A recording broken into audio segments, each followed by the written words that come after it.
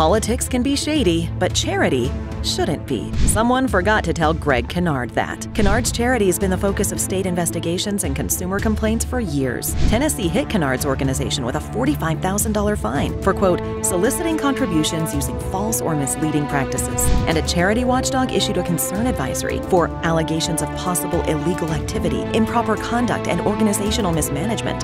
Ouch. If you can't trust Gregg Kennard with your donation, why would you trust him with your vote?